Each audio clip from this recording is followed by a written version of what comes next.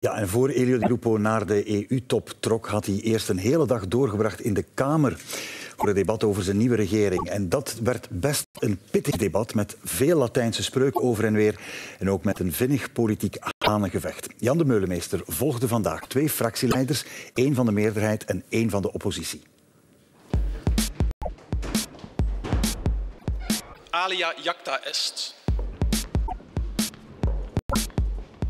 Cave dictum vitiosum.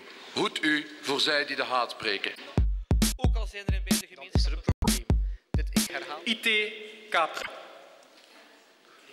Vooruit, vooruit met de geit. En proficiat aan meneer Teulingen voor zijn middelspeech als fractieleider. Het zal van Latijnse spreuken tussen fractieleiders van meerderheid en oppositie over de regeerverklaring van Di Rupo. Na meer dan 540 dagen formatie kan de oppositie eindelijk voluit gaan voor haar eigenlijke taak. Oppositie voeren, dat is tegen zijn.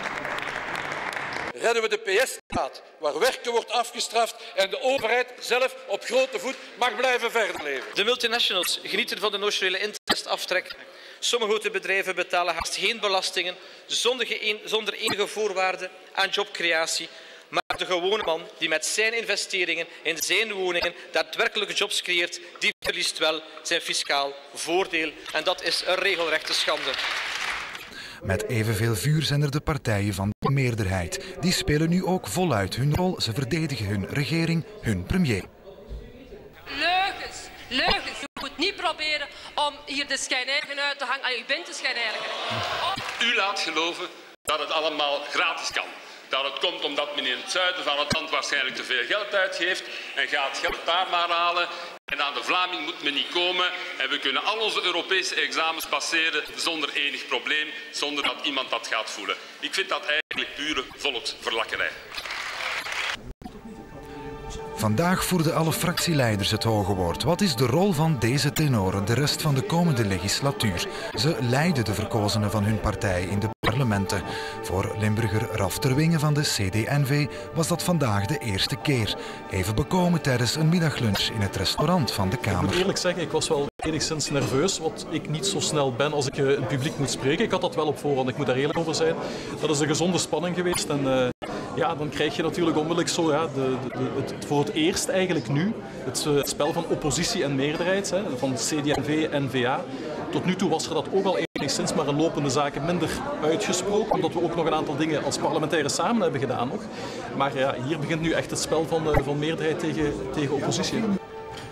Elders in het parlement de eetzaal met buffet. Opvallend overal de driekleur mosselen met friet. En toch N-VA-kamerleden.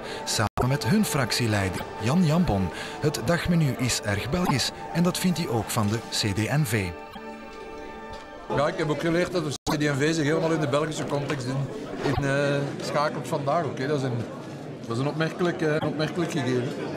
Zeg, wat vond u van zijn, eh, zijn eerste toespraak nu als fractieleider? Heeft hij dat een soort medespeech en heeft hij dat goed gedaan? Ik denk dat hij dat heel goed gedaan. Het is niet evident als fractieleider. Een eerste speech, als je dat op zo'n moment dat moet doen, dat is niet evident. Dus dan hangt er vanaf wat chef daar wil doen. Lisbeth zal er willen blijven waarschijnlijk, hè, bedrijfsleven. neem aan dat Lisbeth daar wil blijven. Dus dan zou we eventueel, chef is eventueel een mogelijkheid om Lee daar weg te krijgen en dan kan Michel daar. Ja, en jij- eventueel die Bessie. Partijoverleg met de fractiesecretaris en de woordvoerder over welke parlementsleden welke dossiers moeten behartigen. Achter de schermen is de fractieleider ook een soort coach. Ik zeg altijd tegen mijn zoon, je kan heel veel golen maken en dat lukt hem vaak, vaak heel goed als 8, 9-jarige. Maar het is misschien belangrijk om nu en dan eens een goede pas te geven. En ik denk dat je als fractieleider gewoon een heel erge teamspeler moet zijn en een spelverdeler moet zijn. Ik heb ook nog een voetbalverleden. Gaat soms trainers die ook meespeelden. En ik denk in dit geval dat je de speler-trainer bent of de captain als je wilt van de ploeg. Eh, niet de spits. Ik denk dat als fractieleider moet je zorgen dat iedereen van de ploeg aan bod komt op regelmatige tijdstippen. En dat je niet alle dingen voor, je, voor jezelf opeist. Ik denk, meneer de premier, dat u heeft aangetoond dat u een goed diplomaat bent.